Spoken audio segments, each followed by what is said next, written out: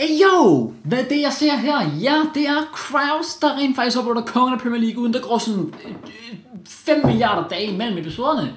Ja, det kan faktisk godt ske, så ja, velkommen tilbage med damer her. Vi kan se på skærmen her, kongen af Premier League vender tilbage. Let's go. Vi har Mansfield i den næste runde i FA Cup'en. Vi spillede, eller vi simulerede den seneste kamp, hvor vi, jeg kan ikke engang huske, jeg tror det var, var det Crawley Town eller sådan noget, vi smadrede 4-0. Nu har vi altså Mansfield i den næste, og lad os lige tage et kig, som jeg plejer at gøre på, hvilke kampe vi har i den her episode her. Vi har Mansfield, øh, vi har West Ham. Så kommer vi ind i februar, hvor der er noget, uh, noget Brighton, noget Arsenal. Okay, spændende. Så fire kampe her, jeg tænker, hvor vi passende kan simulere to af dem, og spille to af dem. Og jeg tænker, det vi gør, det er, at vi simulerer den her kamp mod Mansfield, så spiller vi hjemmekampen mod øh, hvad hedder det, West Ham, som er returopgøret i Carabao Cup semifinalen, hvor den blev 2-2 i første kamp, så ret vigtigt opgør, øh, hvis vi gerne vil videre derfra i hvert fald.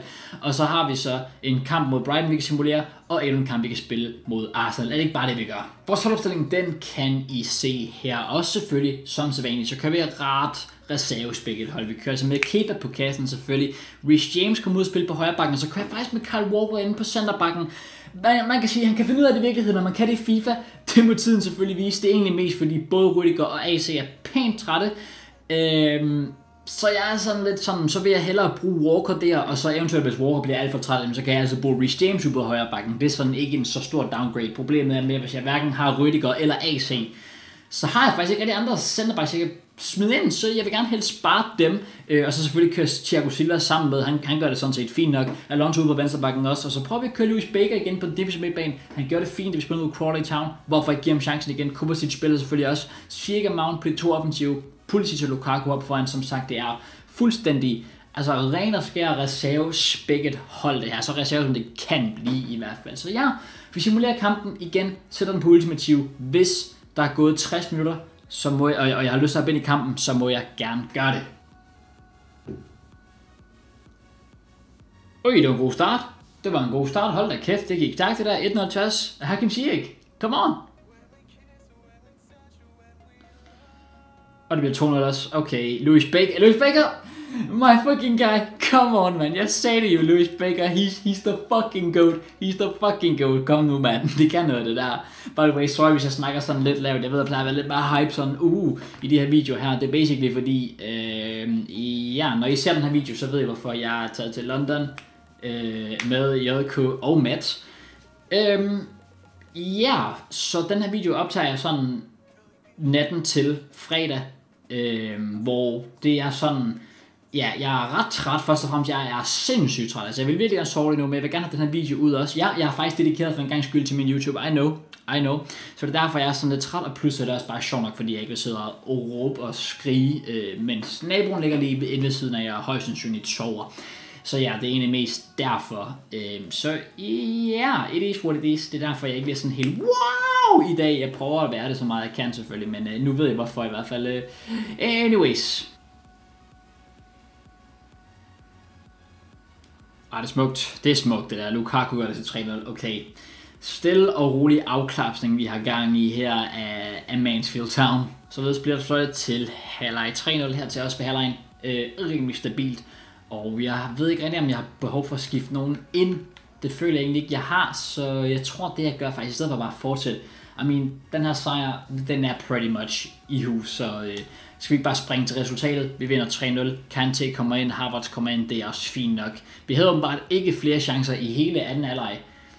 Okay, nå, vi vinder stadigvæk. Clean sheet. Ja, vi er videre i FA-koppen. Relativt, relativt nemt, vil jeg sige. Og med det, mine damer og herrer, så har vi altså den næste kamp i episoden her. Den første kamp, vi skal spille, og det er mod West Ham. Som sagt, bare lige en refresher til jer, der måske ikke er helt med. Vi spillede 2-2 mod dem i første kamp. Vi var bagud 2-0, lavede comebacket til 2-2. Utrolig spændende at se, hvad det her opgør kan føre til. Samtidig betyder det også, at vi vender tilbage til vores allerbedste holdopstilling med længde, og det er selvfølgelig You Know. Men de på kassen, Walker, Rüdiger, Christensen, Spinazzola ned i forsvaret, Kante og Goretzka på midtbanen sammen med Hazard og Havertz på de to offensive pladser, Werner og Lukaku op foran. Det er stærkeste holdopstilling, vi kan stille med personligt, synes jeg.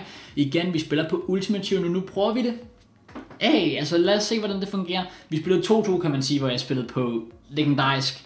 Så det er sådan lidt, Bliver det mere udfordrende på ultimativ? Det kunne måske forestille sig, men det skal selvfølgelig også være udfordrende, ellers er det ikke sjovt at hverken spille eller se med, hvis jeg bare banker en modstander 5-0. Så ja, lad os, lad os se, hvordan det kommer til at gå.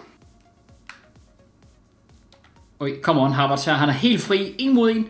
Mod Fabianski. Der, der skal være mål. Der skal være mål. Jeg ved ikke, om det er forkert, jeg vælger at afslutte den øh, langs jorden. Måske jeg skulle prøve at gå efter hjørnet i stedet for.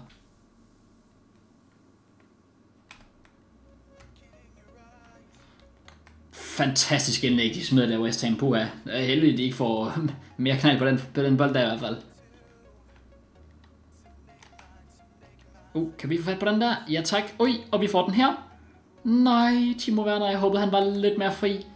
Kan vi vinde den i anden omgang måske? Nej, det kan vi heller ikke. Falder den ned her, spørgsmål der bliver flot af. Ja, det gør det også. 0-0 ved pausen her. Øhm, ja, meget, meget tæt taktisk affære. Jeg ved ikke, om jeg kalder det taktisk. Måske mere bare mig, der er for inkompetent til at lave noget som helst for det her øh, West Ham forsvar. Jeg synes, det er svært at spille sig igennem. Dog har jeg egentlig ret godt styr på dem, øh, når de kommer op øh, og jeg skal forsvare. Så ja, det er sådan lidt, who knows. Jeg ved ikke, om der er udbanemål med her, for hvis der er det, så vi teknisk set videre med et 0-0 resultat, så måske er det også bare fint, at jeg går efter det. Jeg, jeg ved det ikke, jeg ved ikke, om vi er videre. Øhm, så det, det, må, det må tiden selvfølgelig vise, hvis det er sådan her, det ender, men det vil da ikke, det vil da ikke gøre mig noget.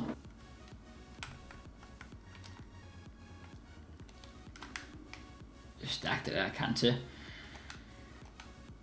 Så kører vi her hurtige kombinationer. Det er godt spillet, det der Lukaku med højre skøjten er det godt nok. Oh my gris en, en, en, en save, skulle jeg til at sige. En redning af Fabianski.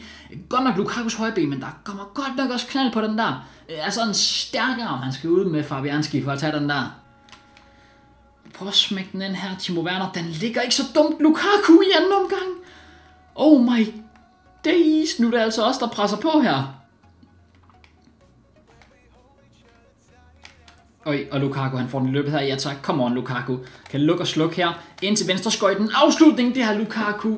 Oh my god, vi får uskarp igen. Vi får uskarp. Den her anden halvleg her har virkelig båret præg af, at, at, at det er os, der, der står og forsvarer. West Ham har ret meget bolden, men de skaber ikke så meget.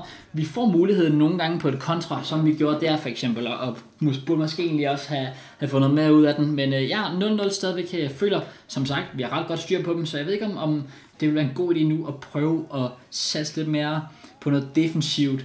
Og det er også bare sådan lidt, så ser jeg, hvad jeg har mulighed i defensivt, så er jeg sådan lidt, jeg ved ikke engang, om det overhovedet kan betale sig. Så skulle det være en Kovacic i stedet for Goretzka, men selv det er sådan lidt, jeg, jeg tror vidderligt ikke, at, at det giver nogen mening overhovedet for os at lave nogle udskiftninger nu her.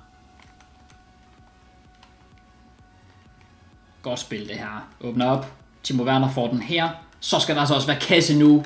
Timo, oh my days, vi, altså, sort of say, det er os, der har haft klart de største muligheder. Det er kun os, der har haft muligheder Anna, eller. Lidt vildt, at den faktisk stadigvæk står 0-0 her. Det der, det er ikke en 100% chance, men det er en, det er en stor chance. Den, den, den, den burde som minimum have ramt målet i hvert fald. Okay, og så igen, 2 minutter 6 tid. Igen, jeg ved ikke, om vi videre hvad det her resultat. Det finder vi jo så ud af. Ellers så kunne det da være nice nok med et lille mål her måske. Hvem har vi der? Goretzka? Goretzka? Åh, oh, det er så tæt på, han kommer fast på den der. Kan vi nå at vinde den måske? Der bliver faldet af. Igen, jeg ved ikke, jeg ved ikke, hvad der sker nu. Er vi videre? Er vi videre? I don't know. Oh, vi går i straffesparkskonkurrence. Oh my god, nej, det vidste jeg slet ikke. Nej, dude. Og, og vi har legit haft, nej, og vi skulle have vundet den her kamp også. Oh my god. Åh, oh, fuck. Hvis jeg havde vidst det, så havde jeg måske... Altså, jeg ved ikke, om jeg havde gået med efter den. Det ved jeg ikke, om jeg havde. No way, vi går i strand. Det har jeg overhovedet ikke regnet med det her. Overhovedet ikke regnet med. Spændende. Spændende. Okay, Lukaku. Lå til bolden her. Første skytte. Stensikkert. 1-0 til os. Okay, come on. Næste, der stepper op her, det er Chris Wood. Fra West Ham. Og han sparker på overlæggeren. Eller det kan sparke over i hvert fald. Han brænder. Fedt. Hazard plejer at være sikkerheden selv på straffespark. Lad os se, om han er det i FIFA også. Vi laver en lille Panenka det var dumt. Det var dumt. For fanden, den har han skulle læse Fabianski. Declan Rice løber til bolden her, og han laver selv en Panenka, den sidder stensikkert. Okay. Timo Werner den her gang. Prøv at sparke den i midten igen. Og den sidder sikkert. Okay, come on. Come on. 2-1 til os her. Jared Bowen. Og han rammer stolpen. Come on. Vi får den igen. Vi får den igen. Let's fucking go. Harvard slår til bolden. Prøv at sætte den sådan relativt yderligt her. Og jeg ved ikke, hvorfor den ikke sad så langt ude. Jeg havde den helt derude, og så tja, har den alligevel... Oh my god, Suchek løber til bolden her. Han brænder også. Oh my god, West Ham spillere er forfærdelige til at sparke. Men jeg ved ikke, hvordan Havertz ikke sparket. Jeg satte den helt ud i siden. Hvordan sad den slet ikke så godt? Det forstår jeg ikke. Anyways, Kyle Walker her kan afgøre det hele med en scoring. Og lad os se, vi sparker den bare i midten. Vi sparker den. Vi, bro, jeg, jeg satte den i midten. Jeg satte den i midten. Oh my god. Vlasic slår til bolden. Han skyder i midten. Oh, are you kidding me, dude? Are you kidding me? Goretzka løber til bolden her. Og han piller den fra Fabianski. No fucking way. Skursuma. Oh my god. Og vi tager den. Come on. Vi er i live. Vi er i live. Spinazola her. Prøv at sparke den herud igen. Der sidder den der. Come on, man. Okay. Fornal slår til bolden her. Skud til venstre. Han skyder den stensikkert ud i højre side. Okay, fuck. Kanté. Næste skytte. Shit, man. Det er et maraton, det her. Sidder stensikkert. Hvordan sparker han den bedre, end Kai Havertz gjorde før? Og Kyle Walker hvordan sagde skyld. Sufal her. Løber til den. Nå, igen. Fuck, man. Det er Liverpool øh, carabao finalen Fuldstændig om igen her. Rüdiger. Prøver bare at sparke den i midten. Der er vi fucking heldige, for han bliver stående med den skruer lige ud til siden. Det, det, det er fuldstændig heldigt, det der. Det er så heldigt. Masuaku her. Og han sparker den ind på stolpen. Okay, AC skal sparke her. Prøv at sætte den her ud i højre side. Fabianski tager den. Oh my days. Og hvad har vi så her? Ogbonna løber til bolden. Og rammer overlæggeren. Nej, nu er det Edward Mendy, der skal sparke. Let's go. Vi skyder den i midten. Men det, den sidder så helt ude i siden. Oh my god, dude. Den sygeste som nogensinde. Fabianski her. Come on. Han rammer overlæggeren, og vi er videre. Og let's fucking go, dude. det er det mest absurde. Det er det mest fucking absurde, jeg nogensinde har oplevet det der. Det var legit, literally, Liverpool vs. Chelsea Cup finalen all over again. Så, men der var også bare så mange gange i den her strafsparksbranche, hvor både vi og West Ham kunne have afgjort det. Vi havde, altså igen, Harvard, som jeg egentlig synes, stadig, jeg er stadig pissed over, at jeg satte den helt ud i siden, og han sad den bare i midten. Kyle Walker, ikke godt nok øh, på et afgørende straffespark, og så har vi så West Ham, der har to matchbolde også i sudden death, brænder dem begge to, jeg tager den ene, den anden rammer de overliggeren på, altså oh my god dude, fuck en vanvittig straffespark, det her der var. Og i sidste ende, ja, så er det Fabianski, hvad er det igen, han ramte overliggeren. Ja, yeah.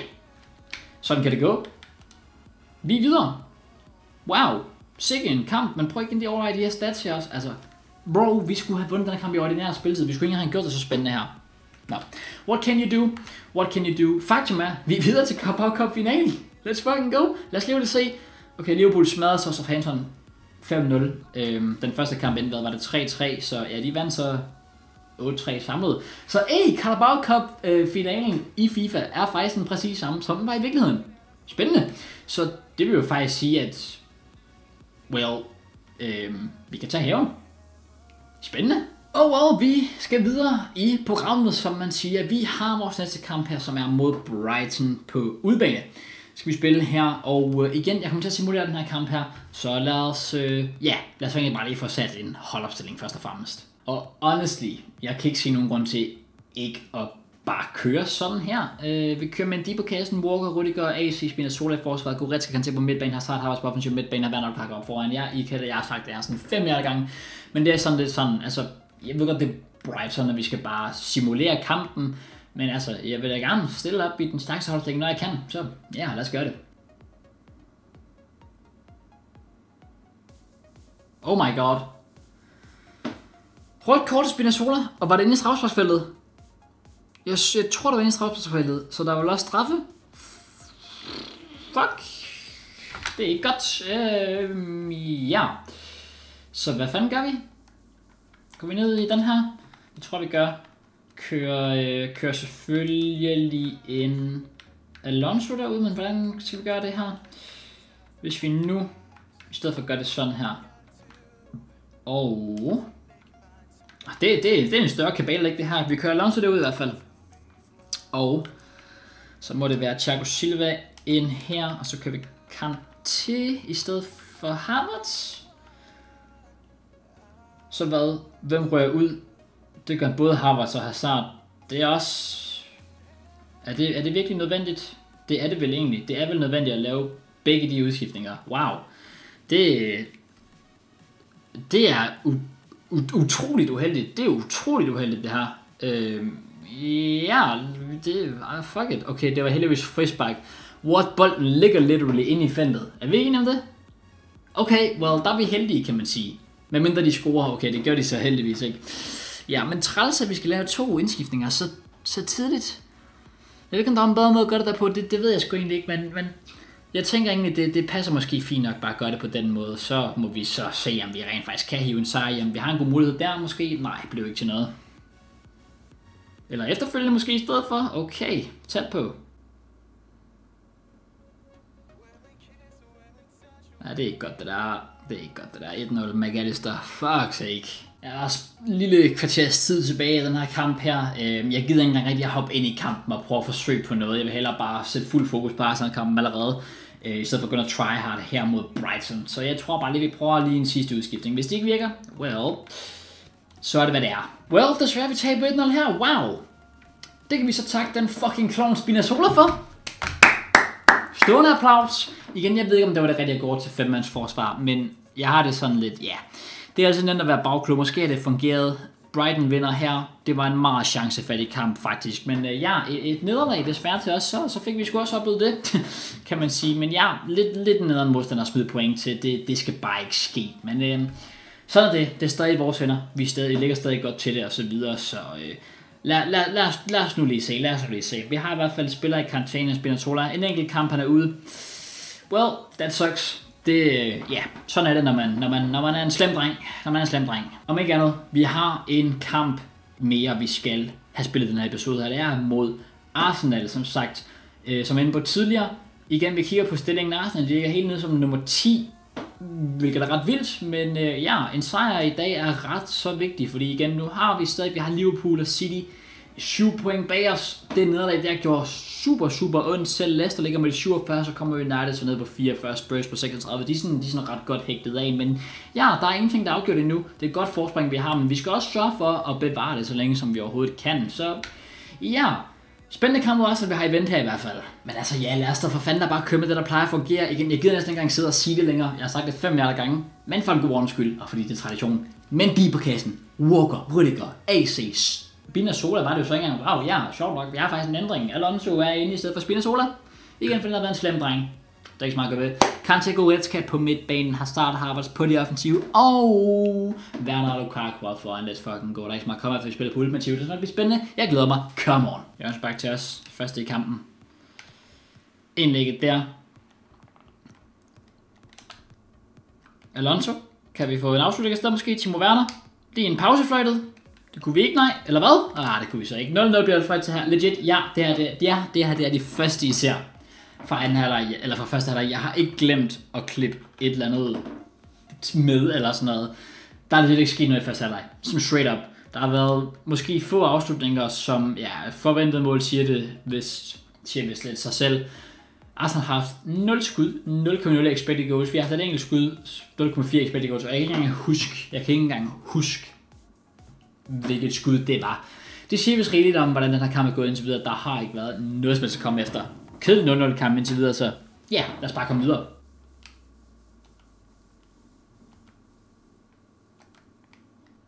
Oj, mulighed her, come on. Gylden mulighed her. Lukaku, en mod en, mod Leno. Lukaku! Rammer overlæggeren. Are you kidding me, Lukaku? Are you kidding me? Jeg føler slet ikke, at jeg smed så meget power i den. Det gjorde jeg åbenbart. Oh my god.